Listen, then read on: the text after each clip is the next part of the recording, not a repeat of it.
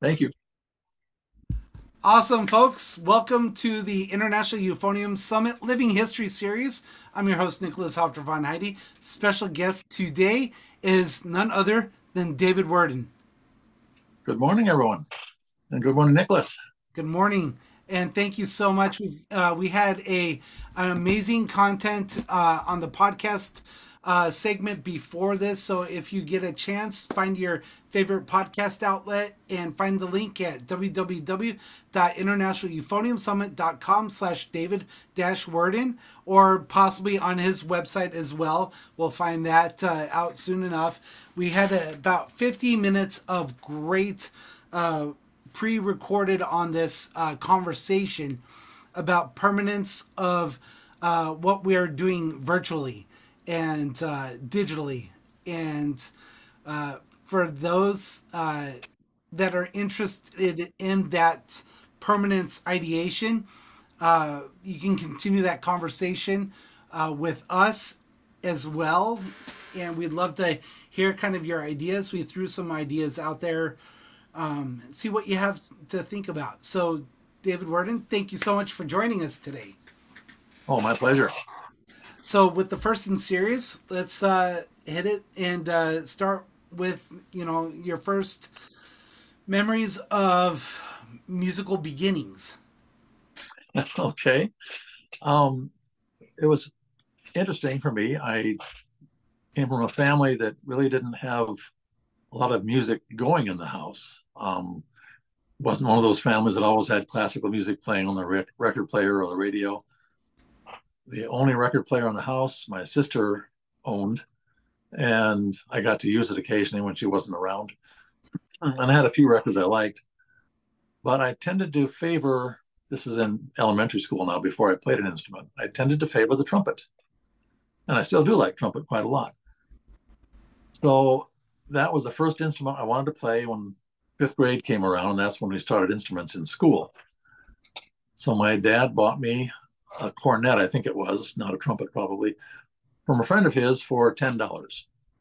And I didn't know anything about it. Uh, the valves didn't move, so I used some three in one oil that we had around the house to get them going. But after two or three months of my band director being patient and trying to get it to work for me, notes just weren't coming out sometimes. And I don't know if that's because it was an old leaky cornet or if just my armature was not quite right for that size mouthpiece. But in any case, he switched me over to the baritone, is what we called it back then. It was actually a small euphonium because it was all conical bore and so on. It wasn't actually the, the British style baritone. It's what we used in schools back then. The bell curved forward, had three valves in the front of the horn. And I played it in his office and it worked much better for me. And of course, I liked the sound. So I said, "Yeah, let's let's do this." So he he loaned the you know the school horn to me, and I brought it home. My mom looked at it and said, "David, why do you want to play that big thing?" So because it was much larger than the the cornet case that I had. But nonetheless, I did like it, and I kept working on it. And I wasn't a kid who had to be forced into practicing. We had those practice cards. If anyone's ever grown up with those, we had to put your hours each day and uh-huh. time each and that was not a problem for me. Um, I always liked to practice. I listened to music on the radio and still listened to trumpet players that I liked. And back then, Bert Kaempfert was starting his his round as uh, one of the top 40 artists. And he had a trumpet player who was quite a nice soloist. So I'd buy some of the sheet music at the local store and I'd play out of that or just play it by ear from the recordings to try and learn the songs and that was sort of my beginnings back in fifth and sixth grade of learning to play i don't really play by ear but learning to to play what's in my head and to make it come out of the horn the way i just heard it on the recording. So in a way i was giving myself a lesson or letting that trumpet player give me a lesson. And that was probably a good beginning. Um, when i went into junior high school that we had the didn't have the middle school concept yet back then. So junior high school started in seventh grade I went there, and it was fortunate for me that my band director had been a trombone euphonium player back in his college days. So he knew something about the instrument, and he helped me a little bit to develop sound and some of the concepts. He gave me some nice hard solos to play. in ninth grade, which was still junior high school back then, it was kind of a bad time for the family. Um, we were not a rich family anyway, and um, I never had private lessons, for example, the whole time I was growing up. So I had to rely on what was in school, and I got good lessons in school. I was very lucky to grow up in Davenport, Iowa, where they had such things. But my father was dying that year, and we moved in with my grandparents. And that was a different school system. In that school system, I had Clara Beck was her name at the time, um, a wonderful lady, band director and teacher, and she had me play my first ever solo with a band. I did Trumpet Holiday, and um, had a good time playing that. And she also taught me how to triple tongue. The contest solo I had that year was um, "Stars in a Velvety Sky" by Herbert Clarke, which had some triple tonguing in it. So that was great. I was introduced to multiple tonguing at a rather early age. Then the next year, my father died by that time, and I moved um, back to Davenport. And I went to a school where the band director there had been a trumpet player. So again, it was a brass player, which was good for me. Very tough guy, um, gruff, very gruff personality, but he was a good teacher, and I learned a lot from him. And finally, about the middle of my junior year in high school, um, he said, "Well," and we had weekly lessons, which was a nice thing. But he said, "I'm I'm really kind of running out of things I can teach you, but you always come up here on your study halls to practice." We get a special pass, which is maybe why my grades weren't quite as good as they could have been. But I went up and practiced whenever there was a study hall period, a free period. And he said, You're always practicing anyway, so you just go ahead and do that. So I did. And I, I worked through the Arban book, worked very hard on that. Again, I was not taking private lessons as some people did, but I listened a lot to recordings. I listened to Harry James and I listened to Tommy Dorsey and got two different sides of brass playing from those guys. And in Dorsey's case, I I bought myself a trombone to try and learn that. And it was an old Selmer Bundy that had it looked horrible. so I ended up stripping the lacquer off of it, and then it looked a little better. But anyway, I taught myself how to play it. And I had a record of I'm Getting Sentimental Over You, which was Tommy Dorsey's theme song, a pretty ballad. I didn't know at the time my record player turned slowly. It was about a half step lower than it should have been. So I learned the song in that key. Oh, man. I can still play it very well in that key today. That's what sticks in my head. I have to work at it to play on the right key. Um, but I learned the song and I used to go up in my practice time at school and, and work on that song. And I was trying to get the inflections that Tommy Dorsey did. All of his phrasing, all the little pauses and the little breaks and things like that that was important. And it was good training for me as well. It was good to teach myself based on a master of the instrument. Um, since again, I wasn't studying with a master, I was studying with a very good, competent teacher, but he wasn't a master of the trombone or euphonium. And at some point, poor Mr. Mortarboy, who was the teacher, the, the, the band room where I practiced was divided from his office only by a half a wall. It wasn't all the way up to the ceiling. Uh-huh. He said, David, for God's sake, practice something else for a while. you heard enough of it over several days, I guess. But I was a, a pretty intense practicer in those times, and I I would take pieces that I enjoyed. We played the Italian in Algiers um, back in high school, and I I got the couple of the other parts that I borrowed from other people, so I could play more of the melody than we had in the euphonium part because I just loved it so much. And anyway, that was through high school. Anyway, I had no um, uh, what you might call serious lessons, but I had good regular lessons.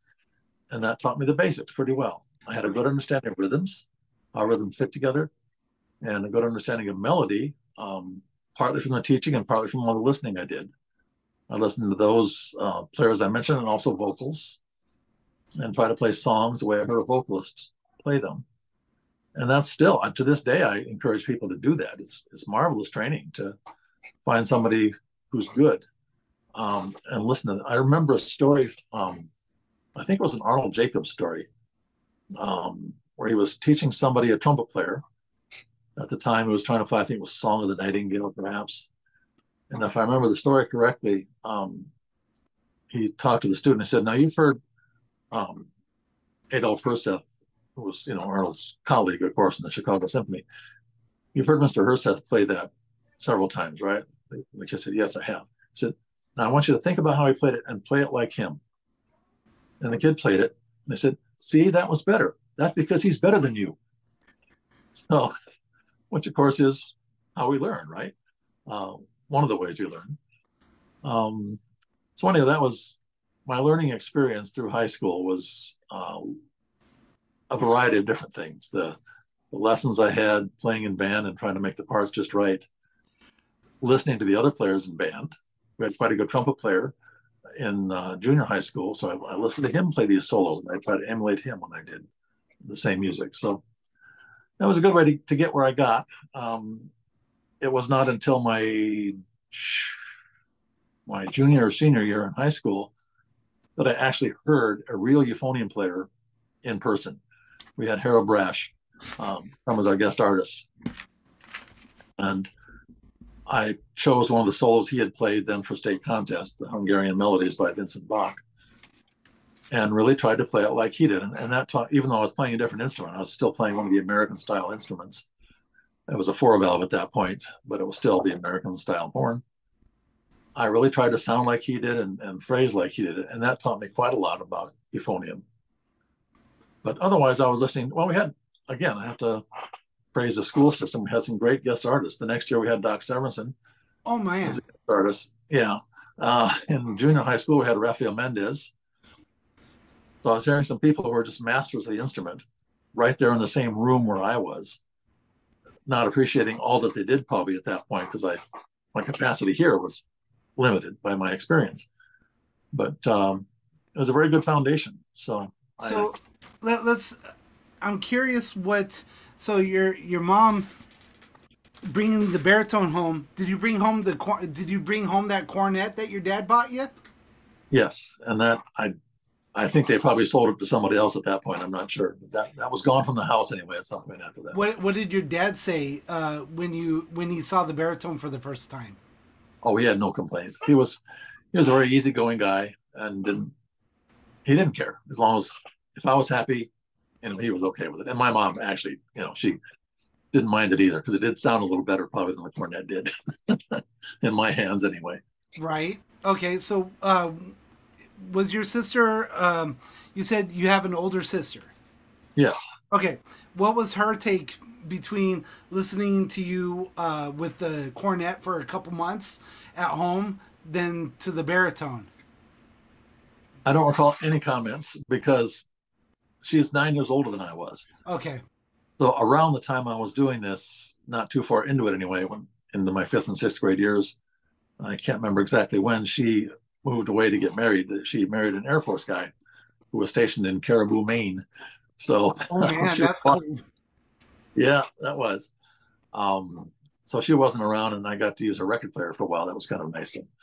That's really awesome. Okay, so going forward, do you remember your uh, parents at any of your uh, Christmas concerts or holiday concerts? Well, more, more specifically, the first solo feature you had with Trumpet Holiday. With uh, Holiday, uh, let's see. Yeah, Trumpet Holiday. Yes. Do you remember their kind of uh, takes with you playing the solo feature on that? Well, my parents were separated back then, and I was living with my grandparents on my father's side. So my mom was not at the concert. um, it was also a different school system. It was that's you know, right. Far, that's um, right. And uh, my father was either I don't remember exactly when the concert fell versus his death, but he was either too sick to come because he was bedridden for most of that year, or he wasn't there. So he he was not able to hear it live. I did get a nice compliment from the superintendent of schools, though. Um, we talked about what a huge sound I had, and I I hadn't thought about that concept at all. I just I played the instrument, you know, and I wanted it to sound nice, but I hadn't thought about bigness of sound as a concept. So, and, so I had to take a had to take his compliment versus any from my parents at that fight. My mom, though, earlier um, in those early early years, when I practiced at home every day, mostly my band parts at that point. She, well, my parents finally went to a band concert, and afterwards she said to me, "You know, when you play with everybody else, it starts to make sense. now I see what you were practicing. So that was a revelation for her, and she was relieved, I guess, that it would sound like music at some point.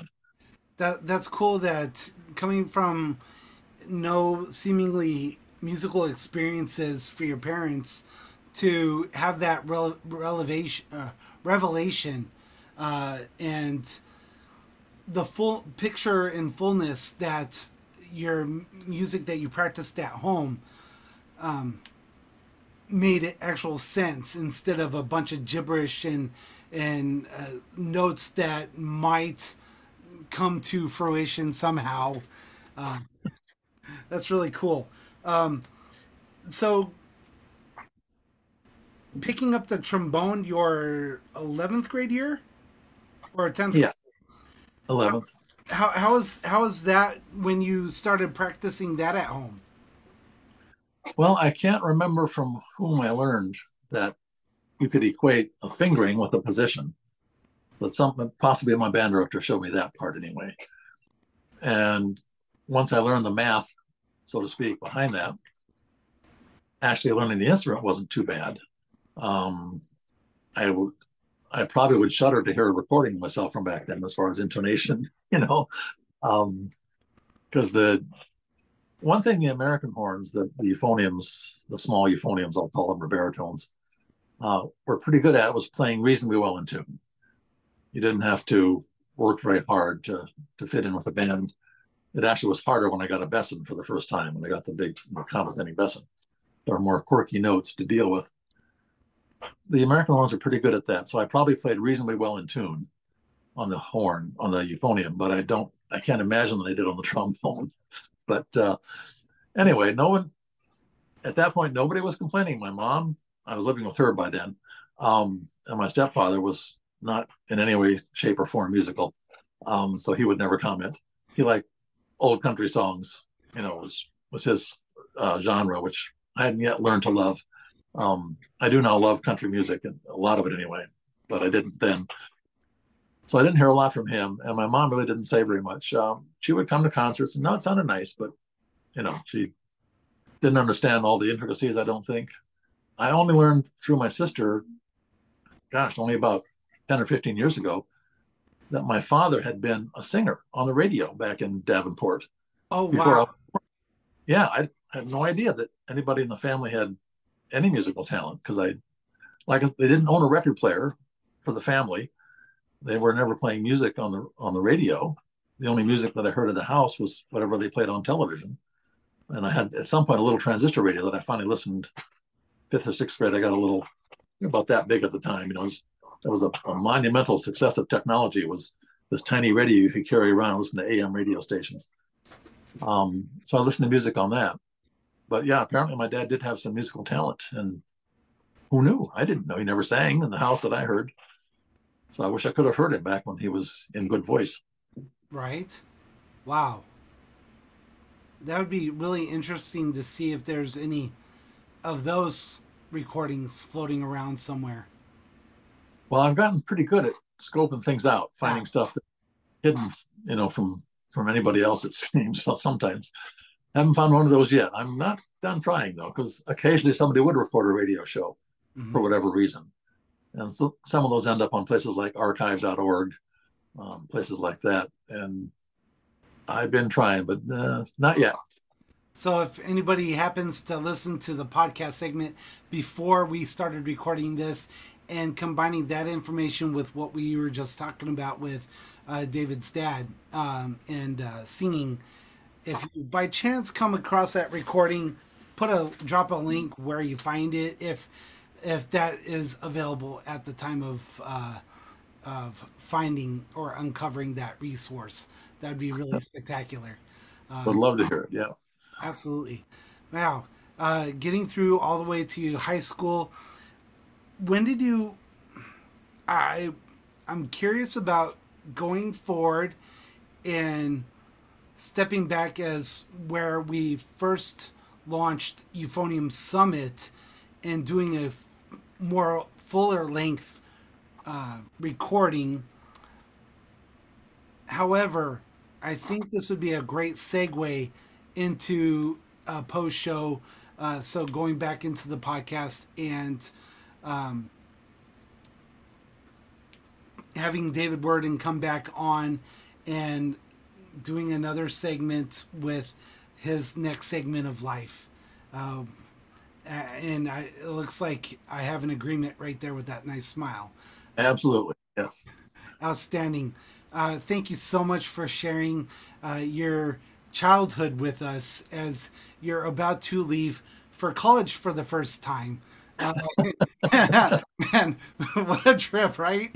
Um, I, I, love technology, how it's uh, put the put this ability before us, and to share your childhood with those that you know have that hardship that they're going through as well. You know, going through, um, you know, I, I, don't know where the students are who are watching right now, uh, but I'm sure that there are those that can resonate with your childhood experiences and and share the the indifference that a parent might have not necessarily not supportive but very supportive just not knowing how to support a musician uh, student uh, as far as you know what other services or opportunities that uh, you can provide as far as a parent.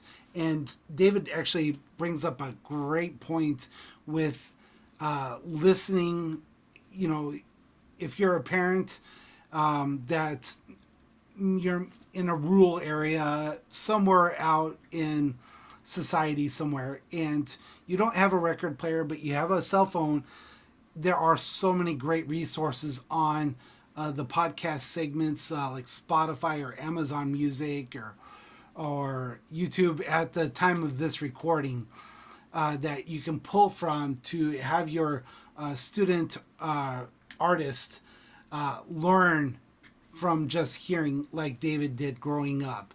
Um, and for those that are interested in learning from lessons, I was actually uh, on David's website uh, about an hour ago, or uh, well, now more than an hour ago, and he mentions some really amazing resources like going to your local church and possibly finding some free lessons by musicians there.